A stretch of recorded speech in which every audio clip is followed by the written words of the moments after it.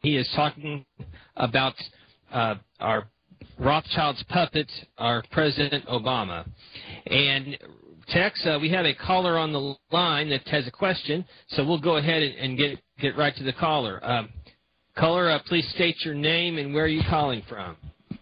Yeah, this is Arlene. Jo- um, this is Arlene Johnson. I'm calling from England. Um, Tex, um, um, I have so much respect for you, so much admiration. Um, I hope you're getting my emails that I send to you. I know how busy you are, um, but um, I, I send things, you know, when I post a new, an announcement of a new edition of my work, and Hmm. um, some of, like I've published some of your articles because I because they're so Great. true.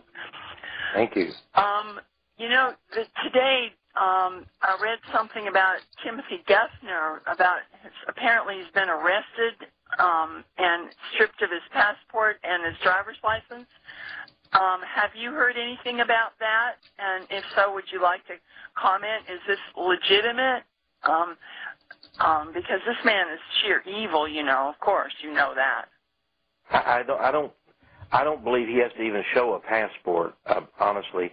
Uh, but but no, I, I mean I was just watching the news before this program began, uh, and you know that would be very hard for me to believe. I, I don't. I don't think that would be so. Uh, Yeah. I mean, wh- where would he go that they would arrest him? I mean, you know, we do have the new world order now, and uh, uh, I, I don't. I don't think they're going to arrest anybody like that. You know, Yeah. Geithner, Geithner's a very powerful man, uh, Yeah. and uh, you know he was with uh, Alan. Uh, in fact, uh, you know I reported in my news uh, letter that he plays tennis three days a week with Alan Greenspan. He was head of the uh, New York Federal Reserve uh, Bank, Yeah. so he's been around, and he also worked for Goldman Sachs and uh, with Kissinger Associates. So these kind of people are, are, are immune from any kind of uh, prosecution. Yeah, right. I I think I think what you're all you're saying is completely true. Um, I I, I found it hard to believe. I sure, you know, it excites me a little bit. I sure would like to see it.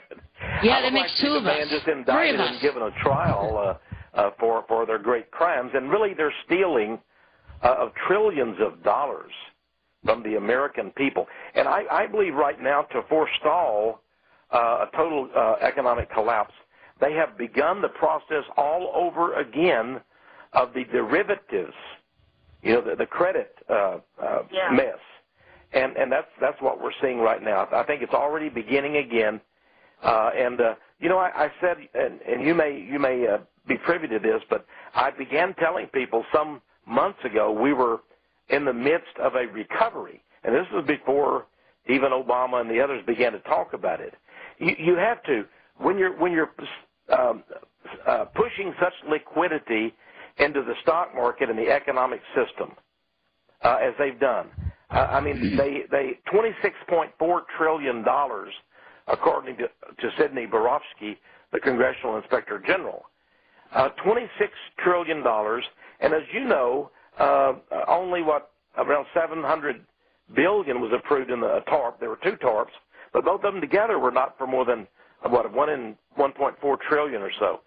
So so they've spent way way more money building up the banks. Now the banks are not lending it to people, but instead they're buying treasury bills, uh, and that drives the dollar down. So they're destroying the dollar is what they're doing.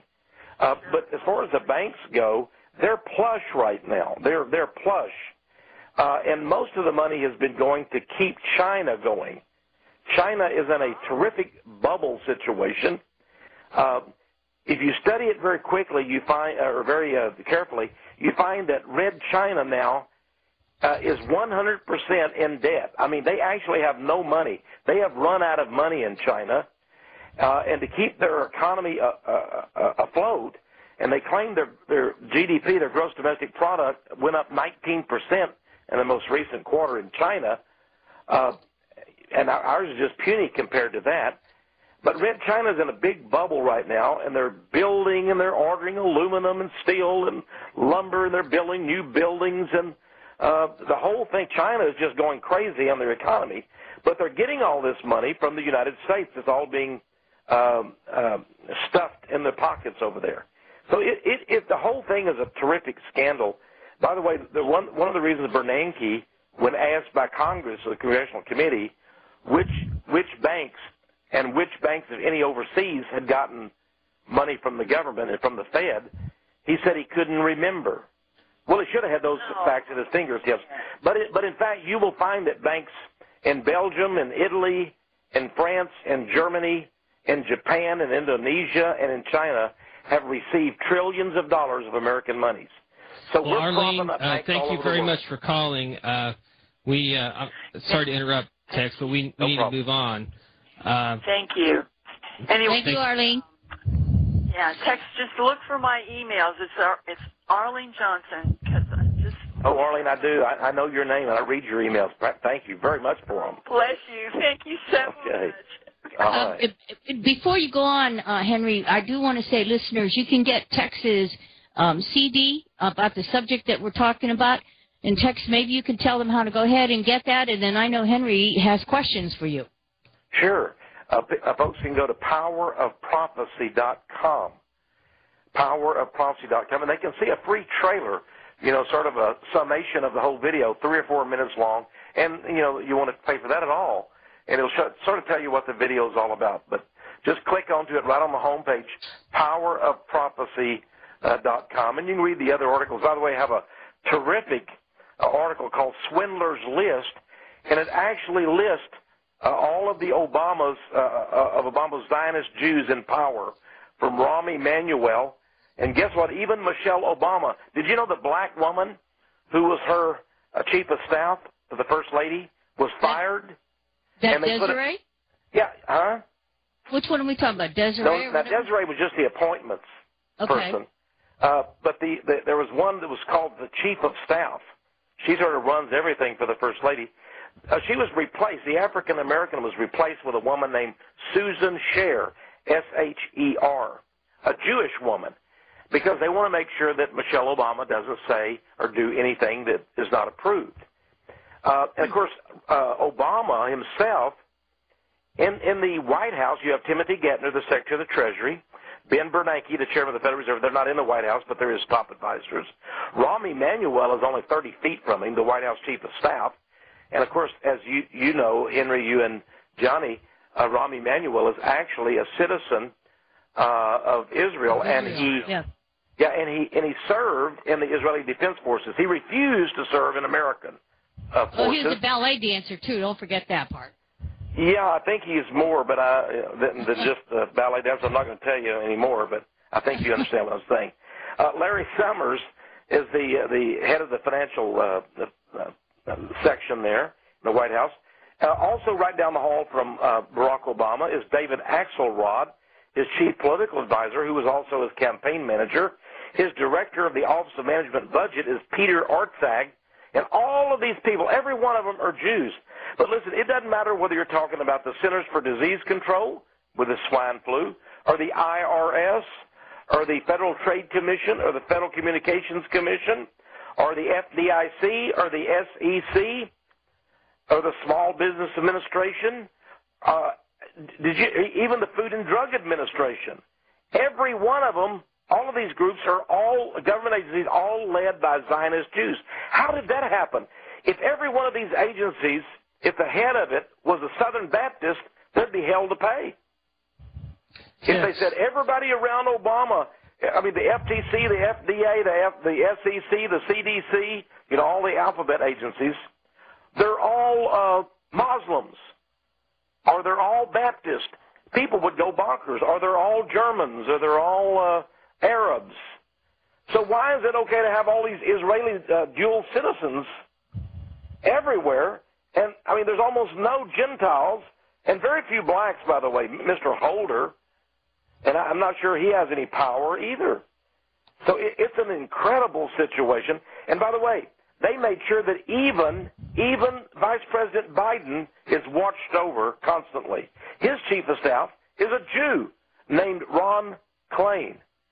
All, the, by the way, I, I mentioned uh, Eric Holder. He cannot take cases to the Supreme Court for the government on his own. He uses somebody called the U.S. Solicitor General. Guess who that is? Elena Kagan, a Jew. And at the Securities and Exchange Commission that regulates the stock market? Yep, Jewish. How about the chairman of the Commodities Futures Trading Commission? That's the price of oil, the price of gold and silver, and all the commodities from wheat to soybeans to corn. Guess what? Gary Gensler, chairman of it. Yeah, you got it. A, a, a Zionist Jew. This is Tex, not by uh, some I got a accident. question, but but isn't Obama a Muslim? We hear he's a Muslim. No. Uh, how does that no, fit together? no, no, no. He he went to a Muslim school, but that's like you know somebody said I, I went to a you know uh, Scorsese, who, who, who the Hollywood director who did the hideously anti-Jesus movie, the horrible blasphemous uh, The Last Temptation of Christ. Uh, he, he actually went. He, he was a, a Roman Catholic, raised, and then he went to. Um, uh, he, he's a flunk out of a uh, seminary. He was going to be a priest. But you don't want to call him a Christian today. He's a Christian hater. Martin You don't mean Scorsese. Barack. You, you don't mean Barack was going to be a priest. You mean Scorsese, right? Yeah, Martin Scorsese, who gave us the blasphemous movie, The Last Temptation of Christ. Uh, But, so, uh, but uh, didn't Obama Obama went for a few uh, years to a Muslim the school. Saudi that's all. king? I mean, uh, in, in reverence to him. Excuse me? Didn't didn't President Obama uh, bow to the Saudi king uh, in reverence to him when he on a visit? Uh, he did the same thing to Queen Elizabeth. Uh, I think he's got some strange idea about the, the little bowing process uh, that that according to the uh, uh, you know you might say the book of etiquette.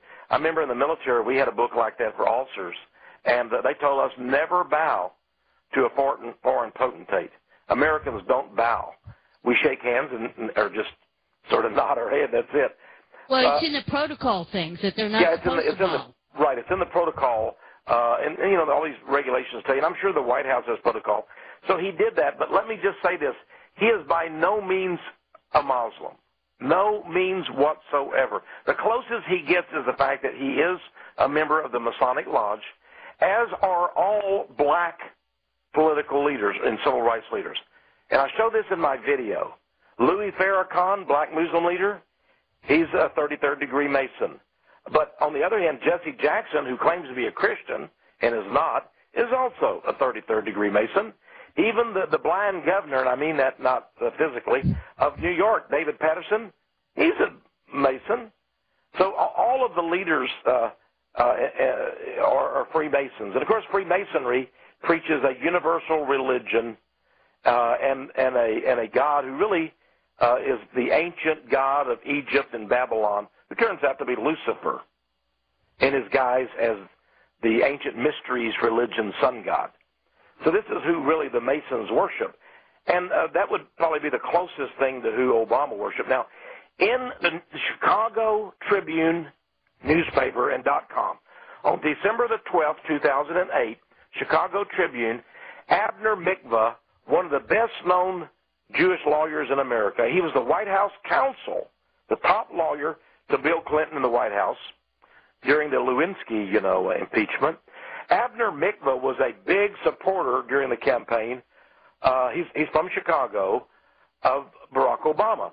He's quoted as saying this, quote, Barack Obama will go down in history as America's first Jewish president.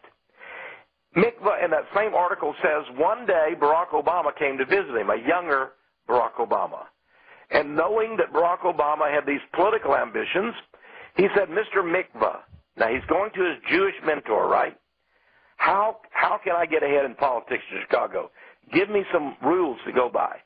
Mr. Mikva said the first thing I said I told Obama you must do is go and join a big, very big and, and influential African American church. You can't get ahead as a black politician unless you join a black church, a Christian church. And that's how then Obama found uh, Dr. Jeremiah, uh, whatever his name is there, Right. uh, the disgrace uh, of, of that uh, Christ church there. So, so he only went. He only went and became a member of that church. but he was a member 22 years. Well, yeah, but he but he started off there uh, at- on the advice of Abner Mikva, former congressman, former federal judge, and former White House counsel. So the Jews told him, "Go join a black Catholic church. You need a base, a constituency." But I want to I want to emphasize again, Barack Obama did not represent blacks in the Illinois legislature. His district was Jews. In fact, he lived in a multi-million dollar mansion in a Jewish neighborhood, very swanky and luxurious. And he lived right across the street from a Jewish synagogue. And he lived right across the street from a Jewish synagogue.